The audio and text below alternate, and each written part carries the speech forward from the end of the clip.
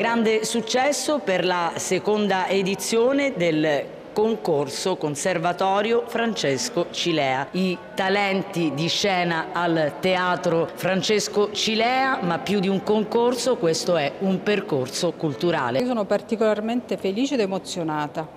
Intanto rivedere i ragazzi eh, esibirsi poi al Cilea è assolutamente sono andate dietro le quinte, c'è un fervore, sono agitatissime per questa esibizione e eh, particolarmente orgogliosa perché l'anno scorso ha vinto una mia allieva il primo premio Carmen Cardile e quest'anno un altro allievo che è Domenico Cagliuso. Quindi sono orgogliosamente soddisfatta dei risultati eh, ottenuti, ma a prescindere da questo sono veramente contenta che i ragazzi affrontino questa sfida, questo confrontarsi con, fra di loro e quindi eh, fare musica è la cosa che li rende felici, che li rende vivi.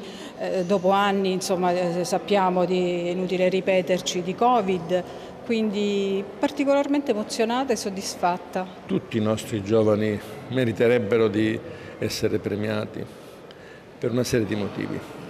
Fare il musicista a Reggio è molto più complicato che farlo altrove perché qui bisogna fare dei sacrifici inenarrabili, anche perché molti vengono dalla provincia, i, i collegamenti sono quelli che sono, quindi mh, a difficoltà si aggiunge difficoltà.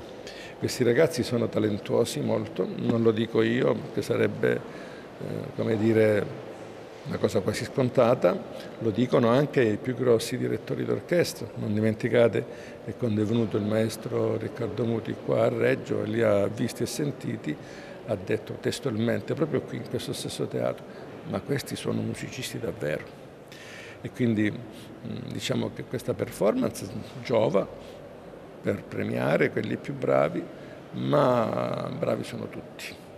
E, ed è un momento di allevatissima cultura nel luogo dove la cultura deve avere spazio, che è il Teatro Cileo.